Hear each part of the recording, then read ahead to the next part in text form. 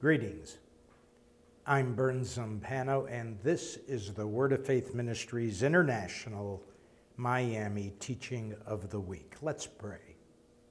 Father, anoint your people with eyes to see and ears to hear. Anoint your servant with your word. As we empty ourselves now, vessels for your use, and yield to your Holy Spirit. In your name we pray, the saints say in agreement, Amen. Satan, we bind you, all unholy seraphim, cherubim, thrones, dominions, principalities, powers, rulers of the darkness, wicked spirits in high places, territorials, elementals, strong man spirits on assignment, and all above, around, and below the strong man spirits.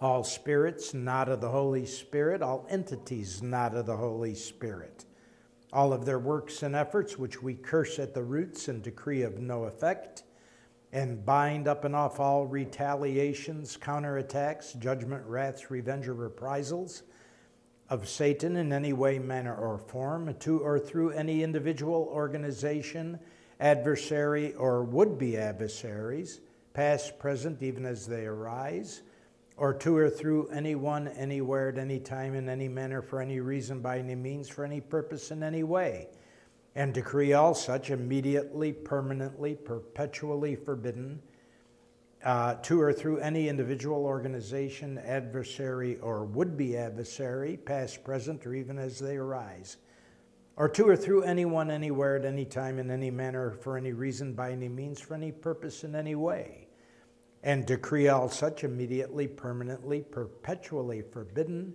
and bind them up and off from doing so, all in the authority of the name and by the blood of Christ Jesus. And the saints say in agreement, Amen. Amen.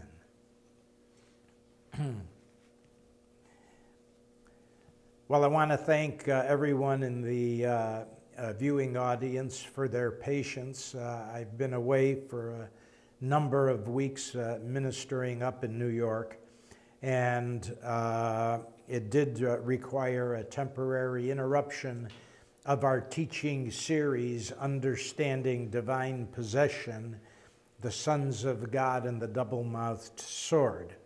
And uh, we have one or two sessions of this series left. So uh, I want to uh, pick up where I left off. And uh, the series uh, will be appearing on uh, the YouTube channel uh, in the order in which they were given by date. And most of these presentations are posted uh, within uh, three or four hours of the actual live presentation. Uh, so if you will go to the series, if you would like to see today's video over again and you would like uh, to go to that series, if you go to our homepage uh, at walkinginpower.org, walking in power is all one word, lowercase letters, no spaces. Uh, dot org, O-R-G, uh, and scroll down the home page till you see the YouTube icon. Click on the icon where it says live broadcast or YouTube channel uh, archives, and it will take you directly to the archives. Uh, it'll also take you to our playlists of other teachings as well. Uh, we have been talking about uh, understanding divine possession. And we had been talking also about uh, the double-mouthed sword. In Revelations 1.16, it says of Christ, out of his mouth comes a two-edged sword. But in the original Greek manuscript uh, and the uh, Koine Greek of the New Testament, the literal rendition of that verse is out of his mouth comes a double mouthed sword. Christ being the first mouth, and you and I being the second mouth of the double mouthed sword, which is the living Rhema sword of the Spirit. And uh, we know that because Romans 8:16 tells us that uh, his spirit witnesses to our spirit that we are the sons of God. But notice what it says His spirit witnesses to our spirit. What does it witness to our spirit? What to say, what to do, how to be, what action to take. These are all the functions of the dialogue between uh, Christ and us, walking in the power of the Holy Spirit, walking in communion with Christ, walking and talking with God in the cool of the afternoon, as did Adam and Eve. You have to remember, Adam and Eve talked with God. Uh, Enoch talked with God. Jacob and Isaac talked with God. Abraham talked with God. Joshua talked with God. Moses talked with God. David talked with God. The apostles talked with God, both before and after the resurrection. And the Holy Spirit guided them. The book of Acts itself is not only an act, uh, the acts of the early church, a history of the early church, it is also a recording of the acts of the Holy Spirit and the Holy Spirit talking with uh, the apostles, talking with Paul, and leading them and telling them what to do. It's a living testimony of the double mouthed sword in and of itself. And so, uh, understanding that this is part of our faith walk, understanding that this is a necessity, not only in our spiritual growth, but in ministry to others and ministry to our loved ones as well we tune in on a daily basis after self examination, confession, and repentance. We tune in to the Holy Spirit and we listen, we dialogue, we, we let Him speak first, then we speak when we feel the release. We submit to God, we acknowledge God. And when we do these things, we present ourselves and when we are in the Holy of Holies uh, and presenting ourselves uh, to the Holy Spirit, we then uh, set our heart and mind to receive what He speaks, what He says. And He leads us in our daily thoughts and our daily actions. Now, this is probably one of the most important teachings in the church today the double mouthed sword. I don't know if other ministries uh, are teaching this or not. I would presume so because of the fact that the Holy Spirit is not a respecter of persons. And although He gave me these revelations directly for this series and all, I would not be so presumptuous to believe that I'm the only person teaching this. Because Jesus said the things of the Spirit are spirit and the things of the flesh are flesh, aren't they? So we then come to uh, the next question, and that is why does the Holy Spirit do this? What is it that it is His intent? Uh, in doing this? Well, number one, it's to build the body of Christ, isn't it? That's the first thing. It's also to encourage and develop covenant relationship, isn't it? As well. Third, it's for ministry, to minister the body of Christ, to bring the kingdom to the earth. Isn't that true? These are the purposes why God does these things. to develop intimacy within us, intimacy with Him, to walk and talk with God, relationship, to know Him. You know, people say, uh, what is the most important thing of the Christian faith walk? Is it to go out and do great things for God? No. God doesn't need your help. He doesn't need my help. He's perfectly self sufficient. He can do anything he wants just by willing it. But he has called the church to minister to the body of Christ, to the world. But is that the prime thing that we need to be preoccupied with in knowing and serving God? No. So, what is it that God wants out of us? What is the most important thing in the Christian faith walk? Why does God do this? The answer to that is this there's only one answer to know Him. Period. To grow into knowing Him more and more and more. He says in the scripture, Draw near unto me, and I will draw near unto you. He's talking about knowing, he's talking about fellowship, He's talking about intimacy. He's talking about walking and talking together in the cool of the afternoon. God loves you. God loves me. He loves all of us. He says, I call you friends. I call you brethren, brothers.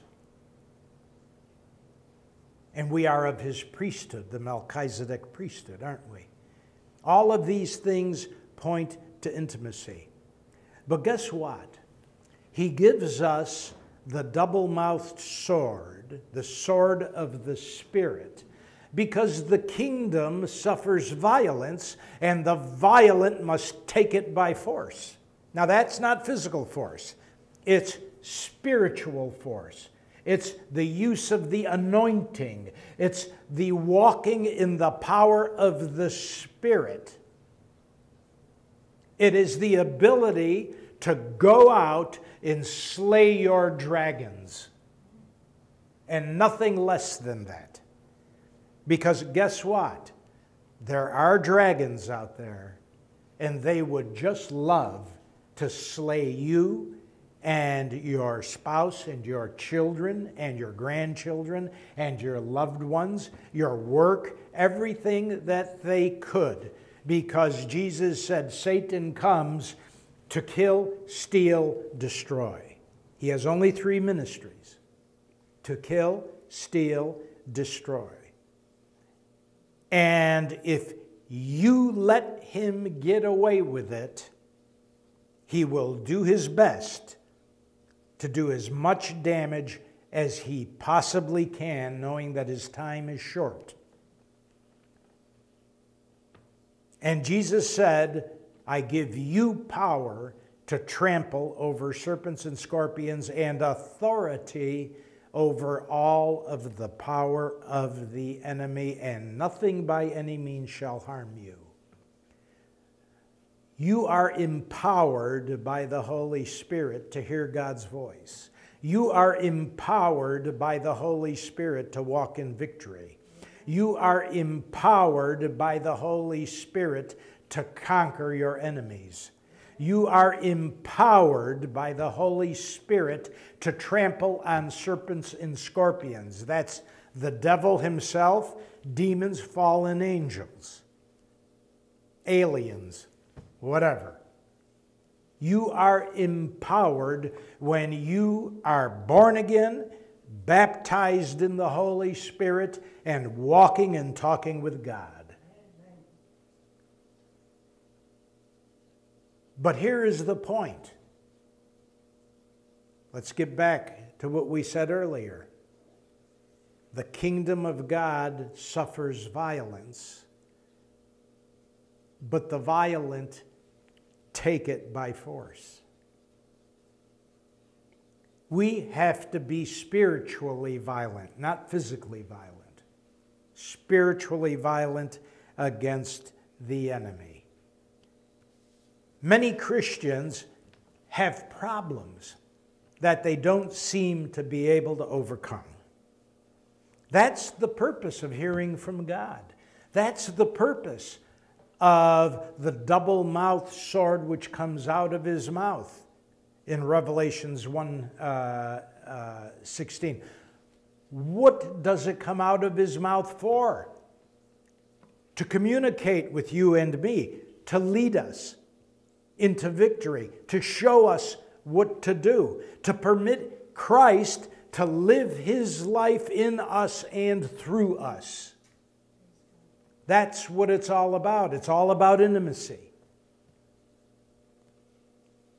And so, when he speaks to our hearts, when he speaks to our thoughts, and gives us revelations of what the enemy is doing in our lives, we then are equipped to know what to speak and how to conquer. He equips us. That's part of the faith walk. He equips us. So, you or I may be having all sorts of issues or problems, attacks of the enemy, this or that. What is the purpose then of taking the kingdom by force? Well, the answer is very simple. We all have dragons to slay, don't we? But watch this. You cannot conquer what you do not confront. You cannot confront what you do not identify. Did you hear that? Let me say it one more time. You cannot conquer what you do not confront. You cannot confront what you do not identify. You must know your enemy.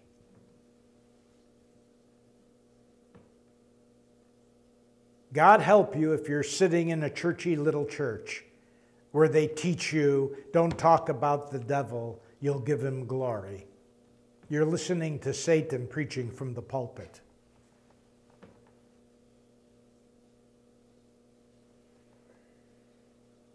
That's dangerous thinking. What would the Allies in World War II have done if they decided they didn't want to know anything about Hitler? he would have conquered the world.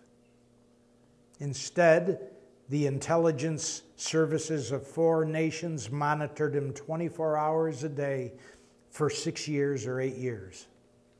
They knew everything about him his interests, his likes, what he ate, everything. They could predict his movements, his interests, what he would do. And with that knowledge, they conquered him. Barely. Satan is no different.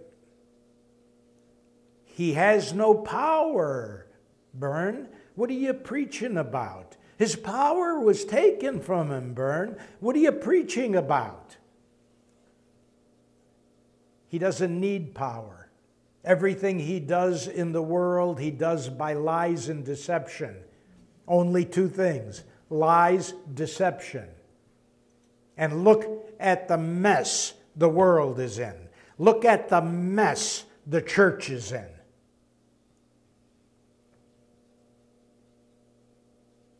Christians are so confused.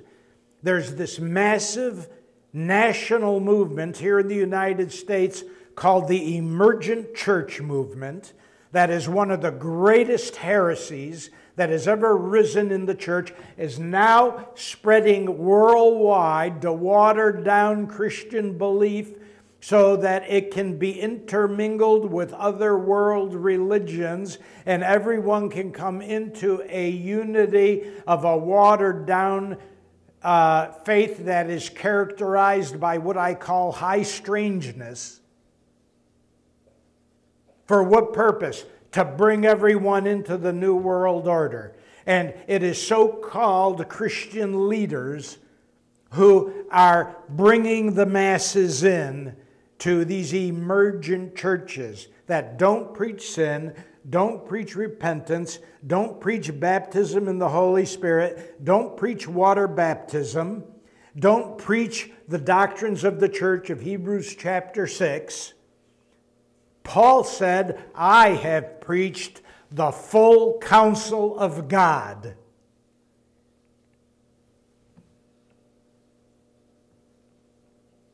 And there are Christians flocking to these churches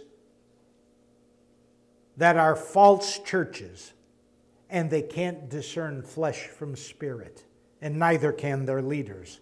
Jesus said, When a blind man leads a blind man, they both fall into a pit. If you're in an emergent church, you get yourself out as quickly as your feet can pitter patter down the aisle and out the back door. And don't slam the door behind you, run.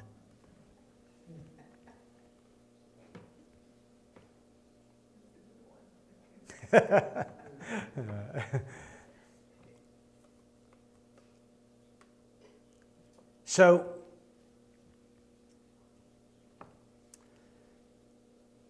what you need to know is that God has fully equipped you and me to see through these fallacies. Every fallacy that there is. It says in Timothy that Satan will come with all kinds of lying signs and wonders to deceive the elect if it were possible. The Holy Spirit will not permit the elect to be deceived. That's a very interesting concept, isn't it? Because if you find so called Christians staying in those kinds of environments and they don't come out, the implication of the scripture is they're not the elect isn't it? Because the elect cannot be deceived. That's a very sad thing. They need to be prayed for, they need to be petitioned for. Say, people get the idea that just because someone uh, uh, loves the Lord and uh, has a ministerial position or has uh, a uh, seminary or uh, university degree in theology or religion or something like that, that that qualifies them uh, to lead people. A paper given to you by man does not qualify you to do anything. Scripture says a man is called, anointed, and appointed by the Spirit. And if you are not called, anointed, and appointed, you have no business being in a pulpit. And you have no business teaching people about the things of God. You must be filled with the Spirit, baptized in the Holy Spirit, operating in the gifts of the Holy Spirit preaching the full counsel of God.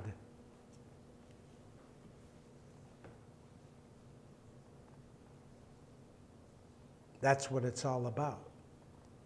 Otherwise, you're not confronting.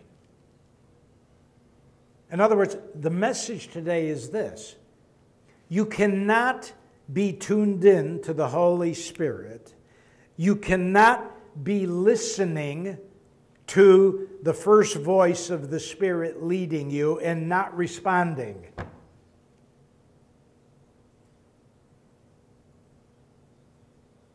Why? When the Spirit talks to you, when the Spirit talks to me, that's grace, isn't it?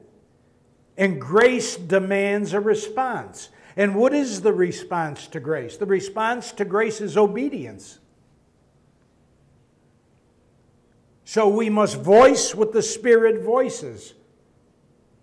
We must speak what the Spirit speaks. We must do what the Spirit is doing. We must move in parallel. Why? Because we are called to bring the kingdom to the earth, aren't we? The body of Christ is called to bring the kingdom to the earth. Not to preach a social gospel such as emergent churches preach.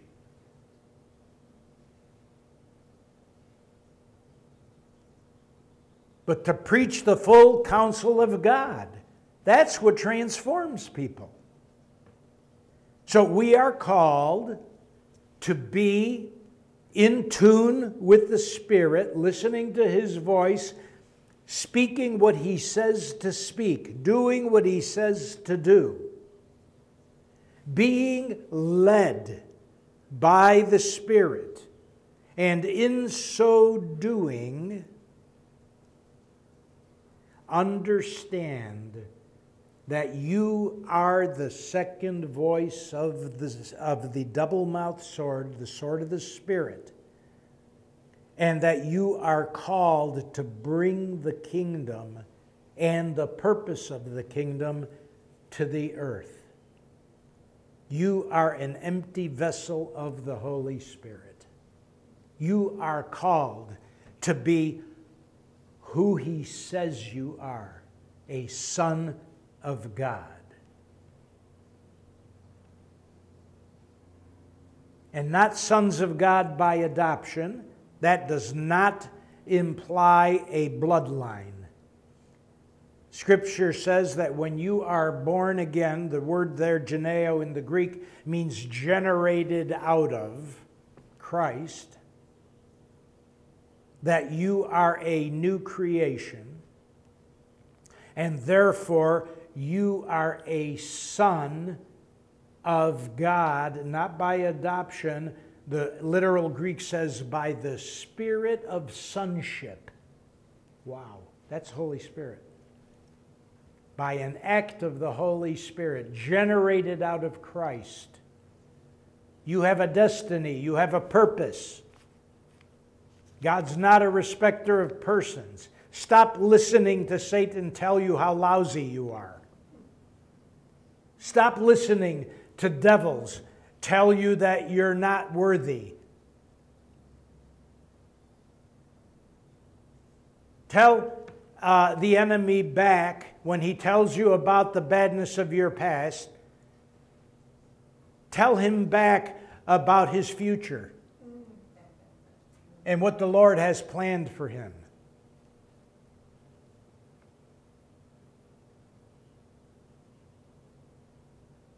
You see, many Christians don't understand the magnificence and the authority and the power uh, that God is bestowing upon them. He's glorifying us slowly in our faith walk. We're sons by the spirit of sonship. Now we have to recognize the things we have to confront. We are at war. Do you understand that? Bible scholars refer to the war between good and evil as the war of the ages.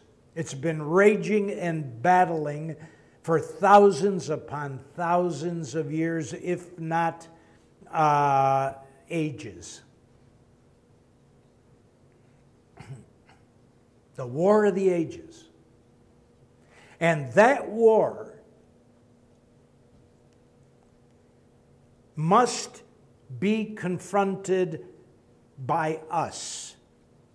Because if it is not, and we do not use our authority to protect our loved ones, to protect the church, to protect uh, uh, people that uh, God puts on our hearts to intercede for, or those who come for us for help. If we do not do that, we are failing in our assignment as sons of God. Why? Because that's our purpose to bring the kingdom to the earth. Now, Satan will wage a war that is a very silent war, that is a very uh, subversive war. And the purpose of that war is to do two things. And this is why God gives us the sword of the Spirit. The first thing is to create in the mind of every individual, be he a Christian or a non Christian, a believer or a non believer, to build in his soul, his mind, will, and emotions, that's the soul, Psuche, P S U C H E in the New Testament Greek. His first intent, and he orders all of his minions under him to, to uh, produce this ministry in everyone possible, and that is to create in all of us a matrix in our minds. A matrix, a false belief system that very slowly, very insidiously divorces us from the reality of the kingdom of God around us.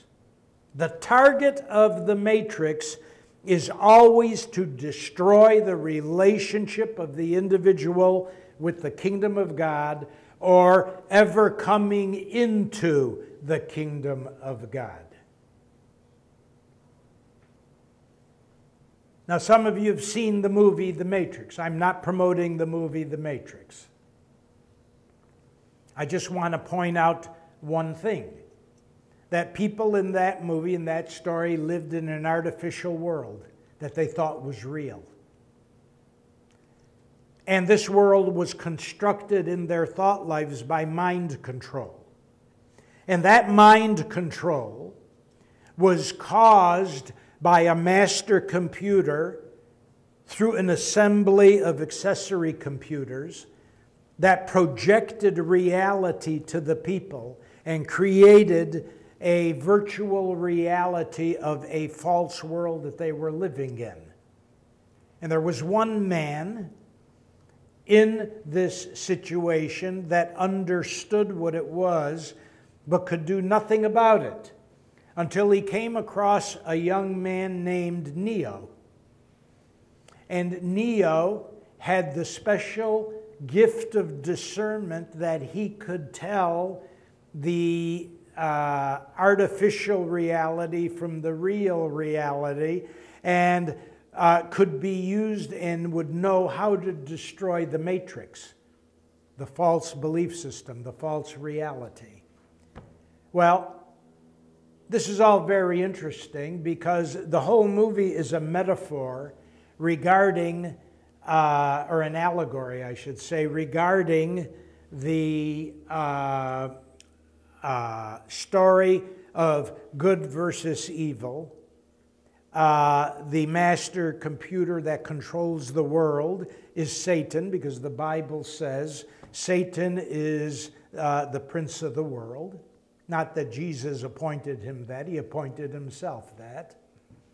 And uh, the accessory computers that control people are the fallen angels, the uh, uh, strongman spirits, and the demonic spirits under them that minister to all of our thought lives.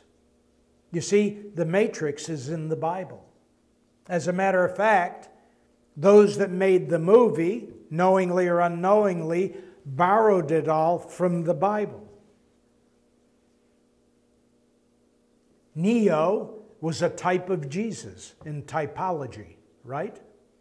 Jesus is the one who knows the way out and the only one who knows the way out. I am the way, the truth, and the life. No man goes to the Father but by me. Paul said, There is no other name under, uh, uh, uh, what is it? Yeah, under heaven. No other name under heaven by which one may be saved. Right? Jesus said, Unless you come to know who I am, you will surely perish in your sin. Wow. So Jesus is the way out. But guess what? Those of us who know and understand spiritual warfare, and I've been at this for 36 years, and there are others that have been at it much longer than I have. Um, uh, and, one of them is uh, my friend Gene Moody, uh, uh who uh, has written, I think, 23 books on spiritual warfare, and uh, who, as far as I know or am concerned, probably today is what I believe to be the most accomplished uh, and knowledgeable uh, uh, deliverance minister uh, uh, in the world, and, and I say that with great respect. Uh, not to puff him up or to blow him up or, or, or to exalt him in any way, but because I have seen his ministry, I have seen how he operates, I have seen the demonstration of his knowledge. Uh, and uh, he's a humble man who's done everything for the glory of God. Uh, that being said, uh, getting back uh, to our point about the matrix, the matrix can be in the mind of every one of us to some degree or another. A false belief, a false truth, a false or an untruth or a false reality system that is creeping in through television, radio, uh, movies, uh, books, literature, magazines, uh, discussions between believers and non believers. Satan will interject wherever he can. And given credence, given belief to, uh, passively accepting what you see and hear on television or uh, from uh, pulpits of strange churches, uh, you will incorporate those things and create a reality for yourself to walk in, reinforced by the ministrations of the enemy. Now, here's the point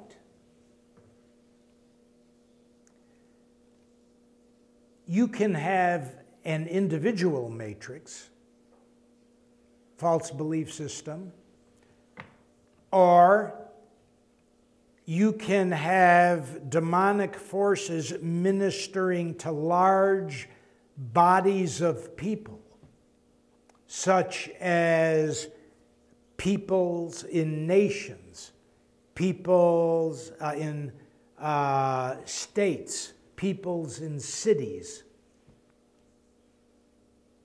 doing very strange things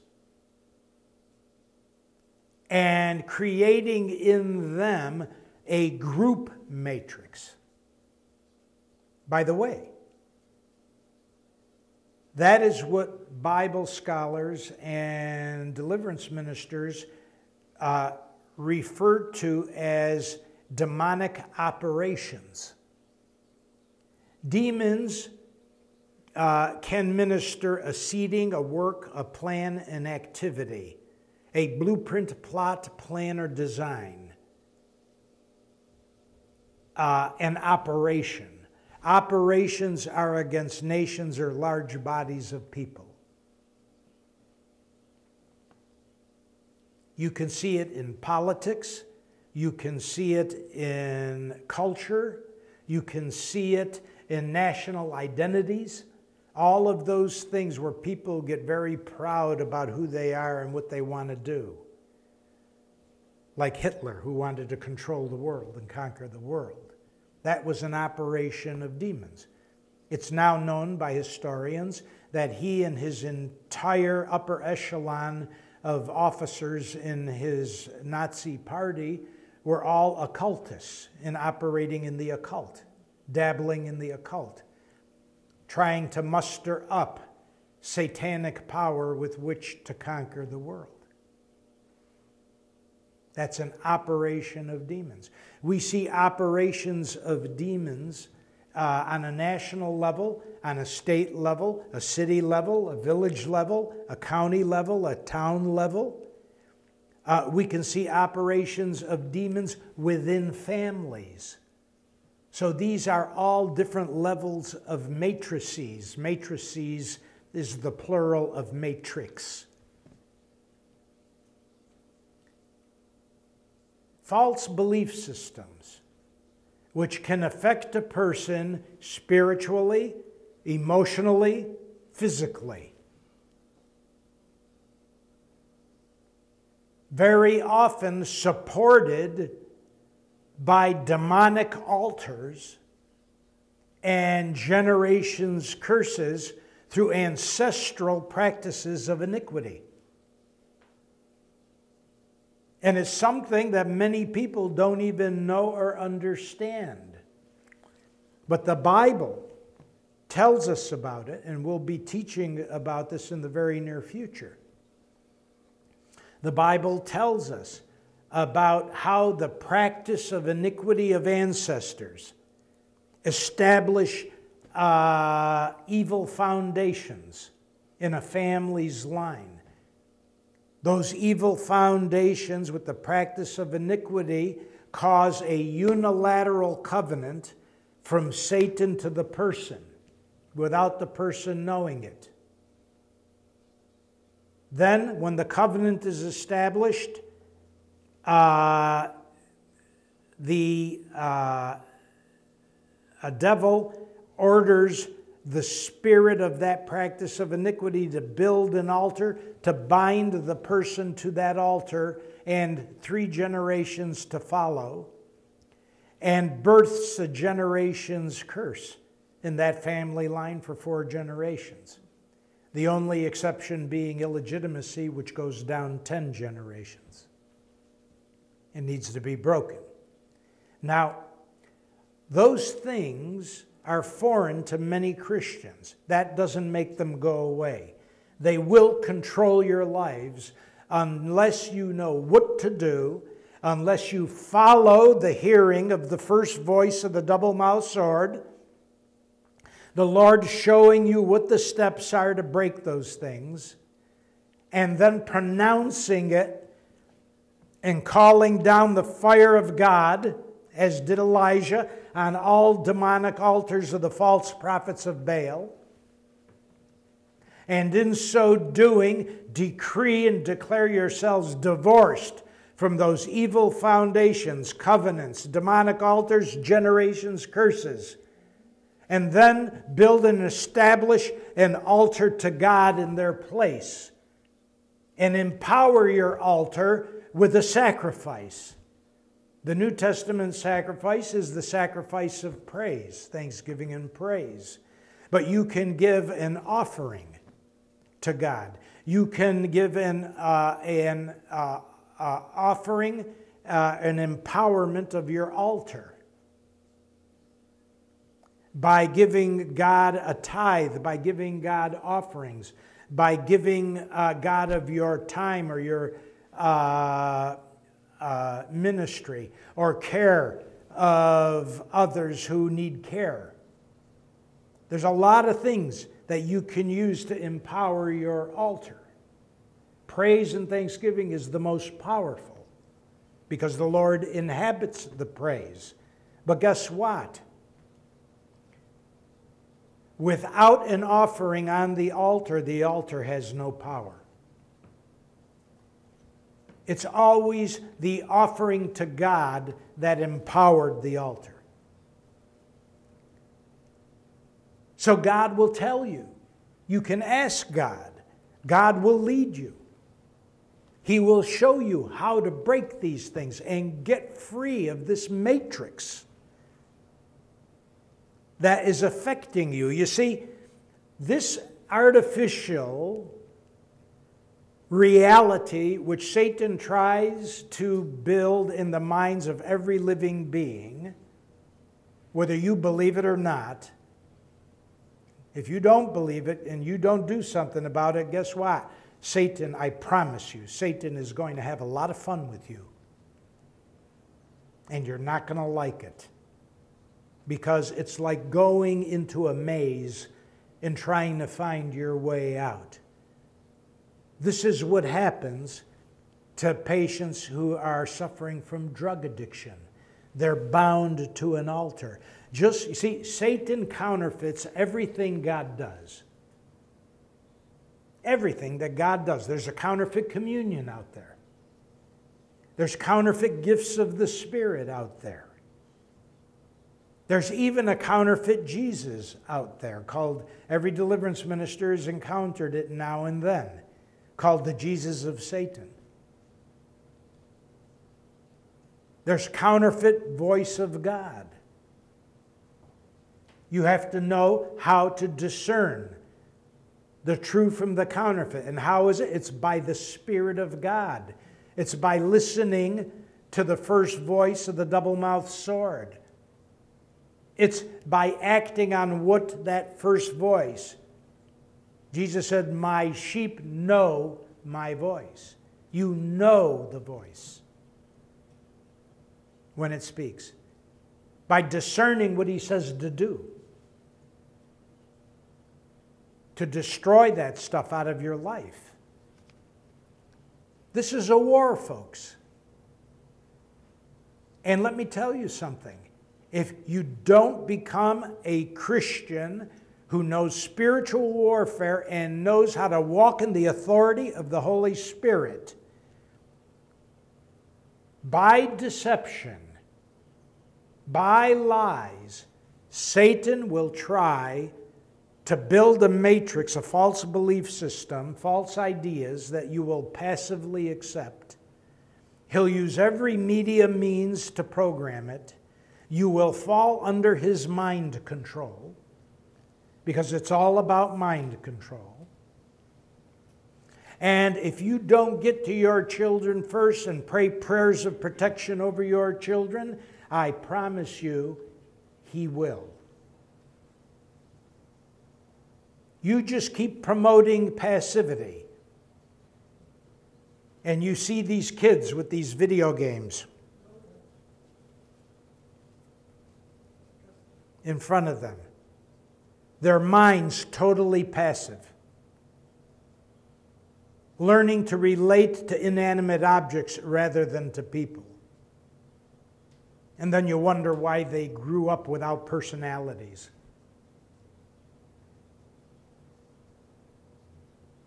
Some of their personalities are as appealing as a stepped on gumdrop.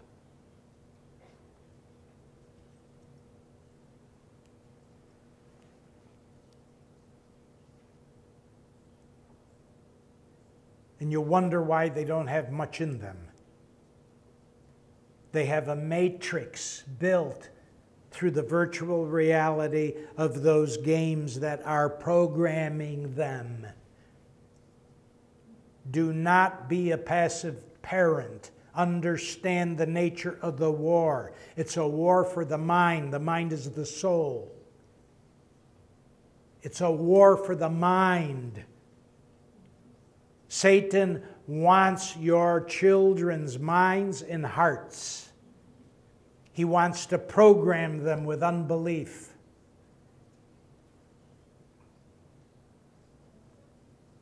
He wants to make them into his image and likeness of what he wants them to be. That's the purpose of the matrix. And we all have it in our soul man to some degree or another because our souls are not yet saved completely. They are in the process of being saved. That's what Paul said in Romans. Be you transformed by the renewal of your mind.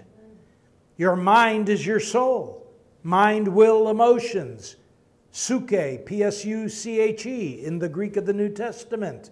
Notice in that verse, Paul says it's in need of renewal, it's in need of salvation. It's a lifetime process. When Christ comes and indwells you, he indwells your uh, spirit man, which is your conscience and intuition. And he resides in your spirit, or spirit man, as the scripture calls it, in the literal Greek. Your spirit man is immediately and completely perfected anew. Where Christ indwells you, there can be no evil. Your soul man needs to be saved. That's a lifetime process. What's the requirement to get into heaven? Matthew 5:48, be perfect as your Father in heaven is perfect. The word perfect there means spiritually mature. Be perfect as your Father in heaven is perfect. We have a problem, don't we? We're not perfect. So Christ solves the problem by taking our sins on himself. In his blood is life. The life is in the blood, the scripture says. In Christ's blood is perfect life, credited to us by his justification of us, so that we can ascend to the Father, justified by the blood of Jesus. It's justified, not sinned.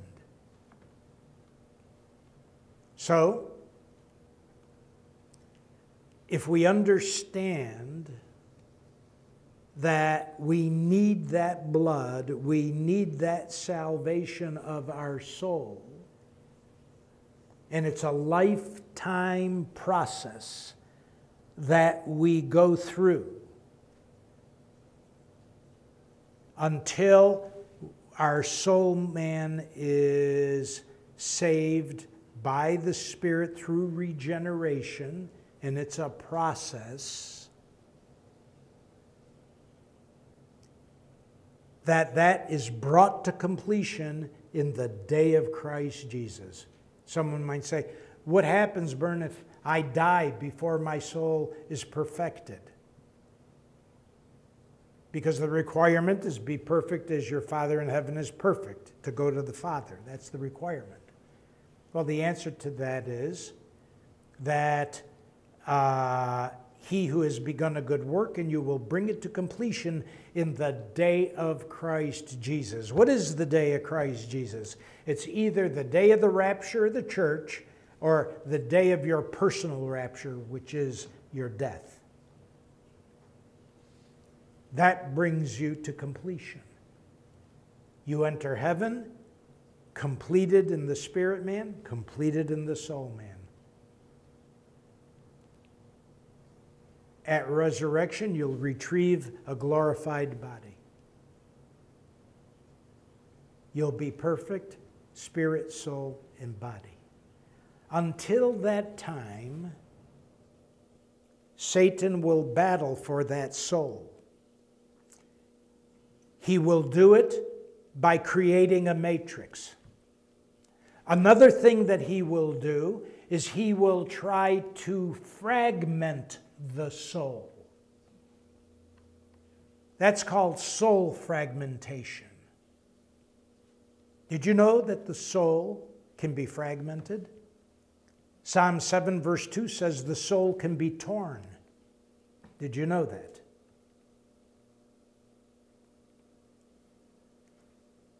Entities know how to remove fragments from a person's soul or soul man and uh, the locus or location that it was taken from, uh, they can put a demonic fragment in there.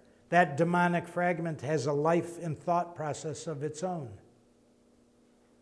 If there's a few fragments here or there in the soul man, most people survive that with little notice or little problem.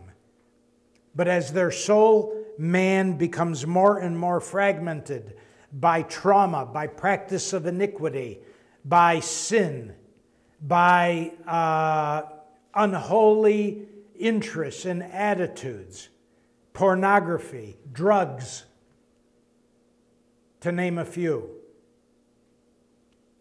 More and more soul fragments are stolen by the enemy. Ezekiel 13 says they can even be caught with handkerchiefs. Can you believe that? Witches will tell you that they can uh, capture soul fragments and put them in bottles and hold the person captive. That's where the idea of the genie came from. The Arabs knew that.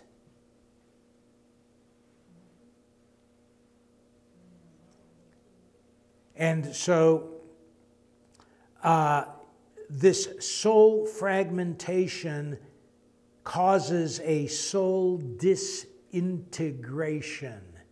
Now, let's look at that word. The word integration means to be whole and together, doesn't it? To be integrated means that you are whole together, you're, you're a put together person, you're in command of your life, guided by the Holy Spirit, if you're a believer. Disintegration implies a falling apart. State hospitals are filled with people whose souls are fragmented. When a soul is fragmented by traumas, by uh, soul stealing or soul uh, uh, fragments, you say, Bern, this stuff is wild that you're talking about. How can this possibly be true? I think you're off of the wall. No, I'm not. I know very well what I'm saying and doing. Because in this ministry and in many spirit filled ministries in third world countries where the practices of witches, warlocks, and shamans are very, very common, and all pastors over there know about it. They know about soul fragmentation, and they know about soul capture, soul exchange, uh, uh, soul stealing, and all of those techniques of uh, high strangeness that uh, are practiced by shamans, witches, warlocks, medicine men, and the like, and they know how to call those things back and reintegrate people. And they get better. And we have done it in this ministry many times. So we know that these things are real and that these things exist. Let God be true and every man a liar. So when the soul fragmentation takes place and you see that the person cannot function, have you ever seen street people uh, who are homeless and they're on drugs? You know they're on drugs. Their eyes uh, are cloudy, uh, and maybe they're unkept and they're sweaty and they're wandering and they're going about like this on the street. How many have ever seen people like that? Look at that, all the hands are up. Of course, we've all seen that. And their thinking processes are slowed down and they're wandering about and, and they may ask for a quarter or a penny or something like that, and very few words come out of their mouth. That's soul fragmentation. Their souls are fragmented. And they need to be given the gospel. And, we must invite and command, decree and declare warrior angels to go forth to do battle for them and to retrieve their soul fragments by force, to wash them in the blood of Christ Jesus, and to bring them back, displace demonic or alien fragments out of them, cast them to the pit and chain them there till the great white throne judgment, cleanse the locations with the blood of Christ Jesus, re implant those soul fragments back into them, call them back, re implant them into them, and seal them in with the blood of Christ Jesus so they can never again be stolen in Christ Jesus' name.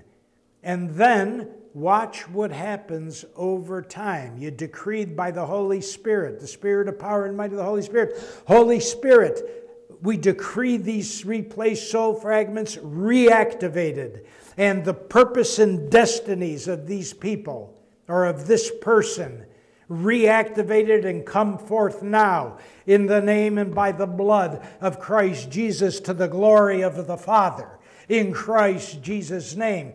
And watch and see what happens over time. You start seeing them becoming alive again. You start seeing them become uh, more mature again. A type of soul fragment is also called maturation arrest. Through traumas, through deceptions, through lies of the enemy, or even soul uh, stealing of fragments or things like that. People's development of the soul man can be arrested. And when they are arrested, they cannot come forth to their spiritual chronological age of their physical man or to maturity. Trauma is a very common cause of this, even trauma before birth, at birth, or after birth, through words spoken over the fetus, or over a child, or through threatened abortion, which very often, if the child doesn't get aborted, ends up uh, producing uh, young children who during their formative years are very fearful. Why? Because their soul man in the womb heard everything that was being discussed. That's why. And so, what ends up happening is that if the fragmented soul doesn't grow to, through, to, to fullness of the chronological age, you have an adult who has uh, maturation, uh, soul maturation of the soul man arrested, and they may, be, they may behave somewhat childish or infantile and not understand what's happened to them or why it's happened to them. Not uncommon at all. We had a woman uh, in our ministry many, many years ago. She's since passed away uh, who uh, was uh, the daughter of a very famous surgeon. And uh, she was 17 years old. She had a young man she fell in love with, and she wanted a relationship with him very badly. And the father did not approve of the relationship, and he cut it off and told her that she could not see him, she could not marry him. She went into an immediate depression, had to be hospitalized.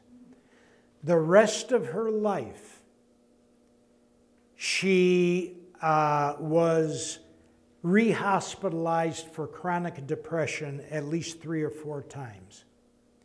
When she was in our ministry here, she was 72 years old. And uh, one day she got jealous uh, of uh, a circumstance uh, where someone was giving me some attention. And uh, I don't pretend to know the reason why, but uh, the uh, person confronted her about it, and she lost control of her emotions. And uh, she started accusing the other person of being an evil spirit. And she was standing in front of those of us that were around, and she was jumping up and down like this, yelling and screaming like a 15 year old uh, teenager. And I realized this was maturation arrest. She had never been healed of the traumas, and the soul man never called forward to maturity. And that's a requirement. There was uh, another situation of a, a, young woman who loved a young man in, in our ministry, uh, and uh, uh, uh who are very close to me, actually. And he wanted to get married, but she just couldn't get married. And they went on for several years, and she just did not want to get married.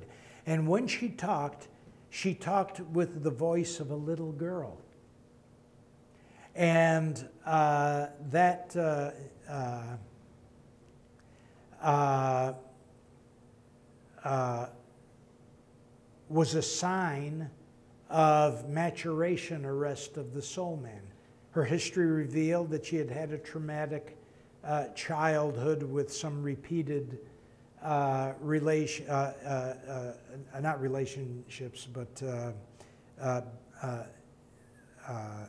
stressful encounters with a member of her family. I can't remember if it was her father or a brother or something like that. But anyway, uh, it, it, was such that it traumatized her and arrested her uh, and this happened when she was about six, seven years old. And uh, uh, she, she was fearful of getting married. Well, we decided that her soul man needed ministry. So, and she wanted that. And, and so we started to call the soul man forward to maturity. And I asked her, uh, the Old Testament scripture says, without a vision, the people perish.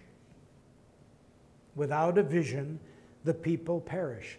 So I asked her to yield to the Holy Spirit and to close her eyes. And she did. And I said, Now I want you to picture uh, the Holy Spirit, Jesus, the Holy Spirit, reaching his hands out.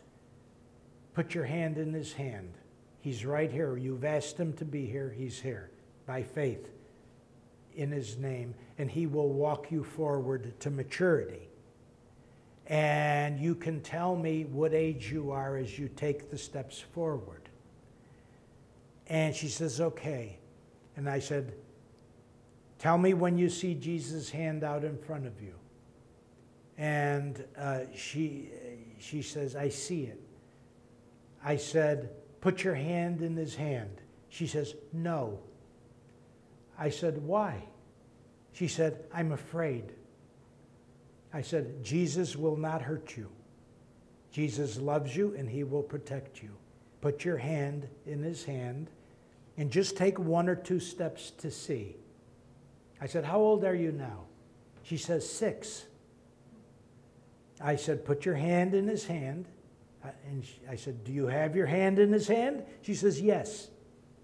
I said, Ask the Lord Jesus Christ to walk you forward now to your mature age.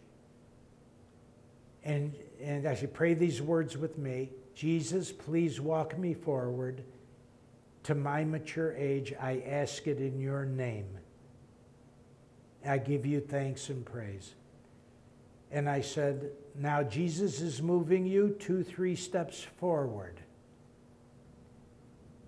What age are you now?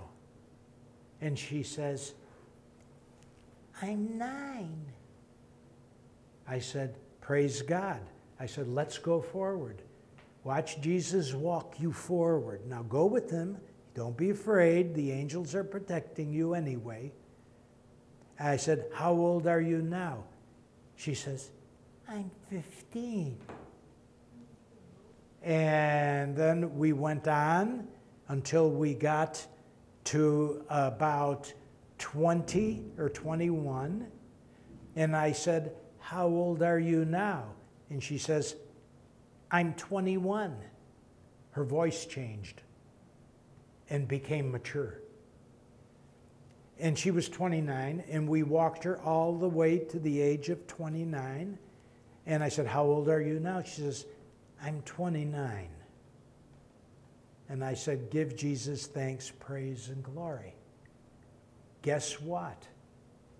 Within three or four months of that, or I think maybe six months of that, Nora, they were married. Can you believe that? What was it that was hindering their marriage? Soul maturation arrest. Her soul man didn't have the maturity to enter into a relationship.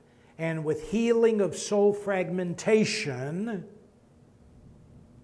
she came into a chronological age where her, her soul man, her spirit man, and her physical man were all whole. That's reintegration. That's what that's called.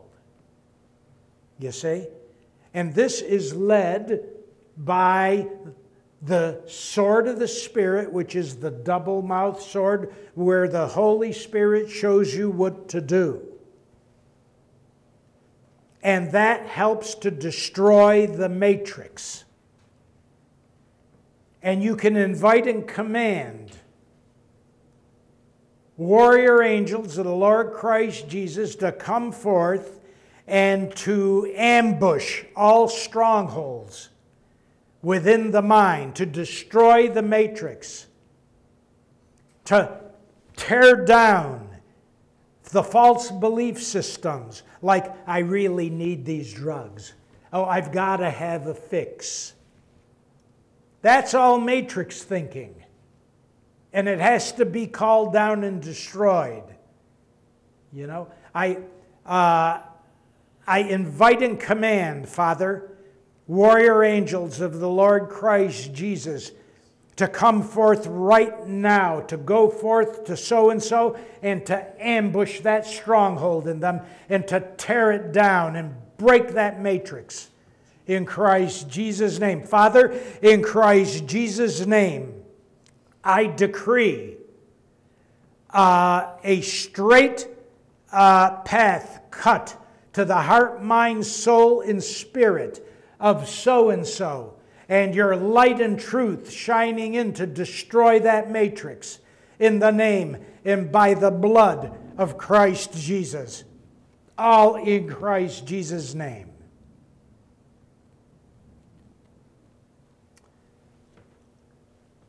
When we have an understanding of these types of things,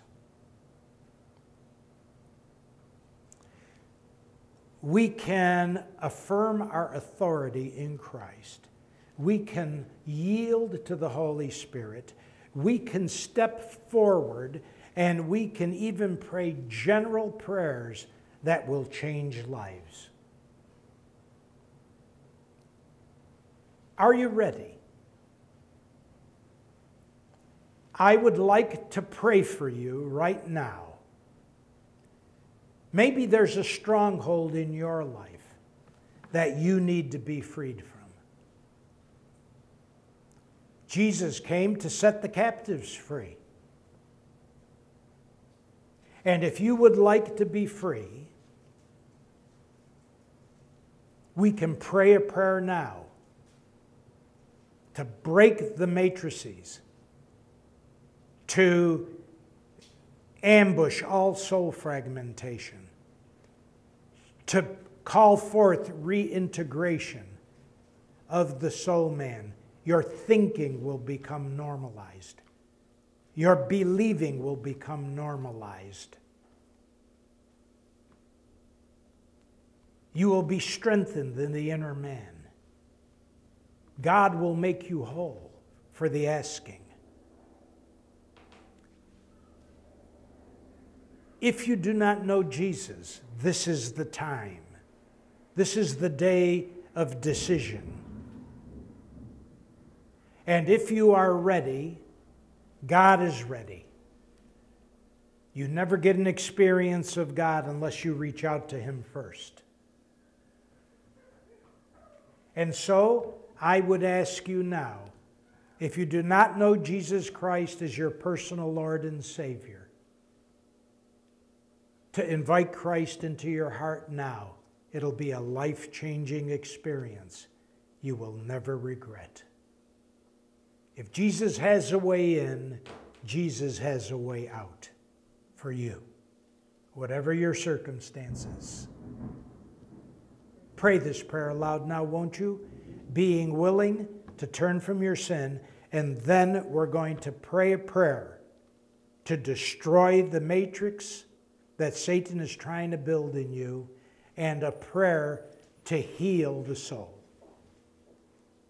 Say these words aloud, won't you? Being willing to turn from your sin, the Lord Christ Jesus will do all the rest.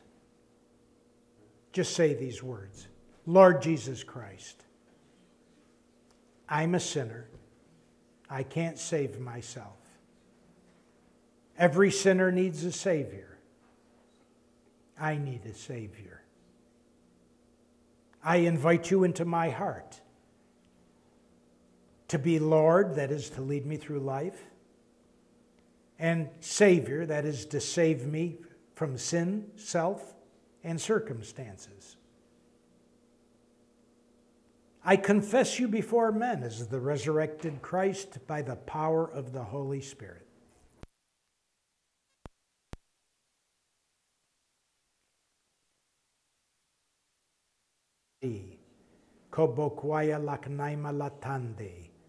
Father, I dispatch warrior angels right now to stop that lightning and to stop that rain and to stop the loss of power in the name and by the blood of Christ Jesus. And I bind the enemy up and off in Christ Jesus' name. Let's continue.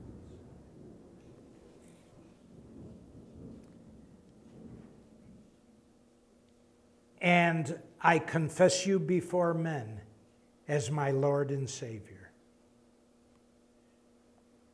I receive you by trusting faith alone. I thank you for the free gift of eternal life. I give you thanks, praise, and glory. Amen. Are you ready? Open your hearts now to the Lord Jesus Christ. Be ready to receive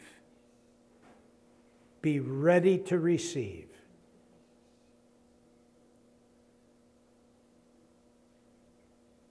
Father, in Christ Jesus' name, by the Spirit of power and might of the Holy Spirit,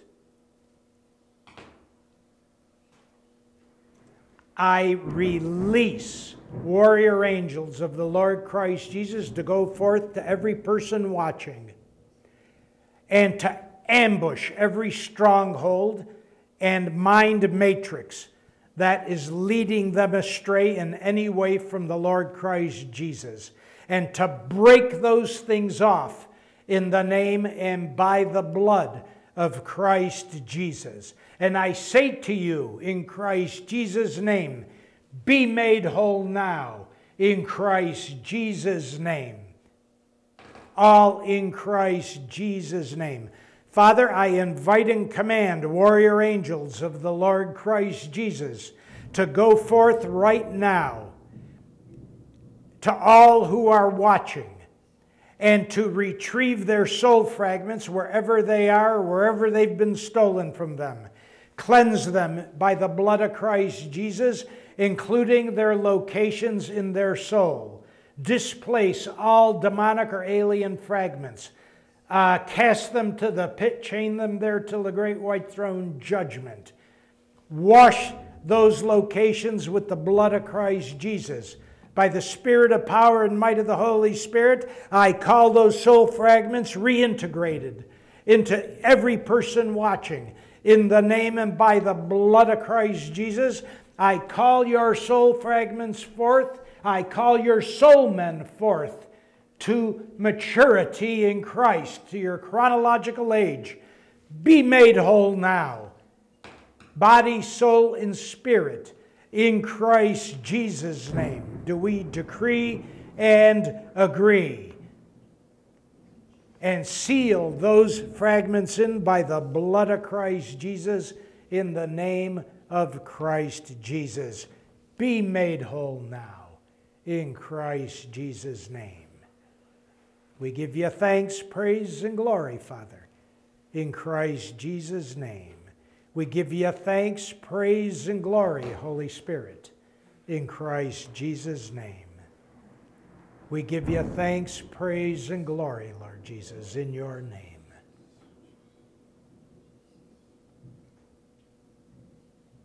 Be made whole. All in Christ Jesus' name. Well, we're out of time. Thanks for watching. Until next week, God willing, we'll meet again and continue our series. Until then, God bless you. Have a great week. Bye bye.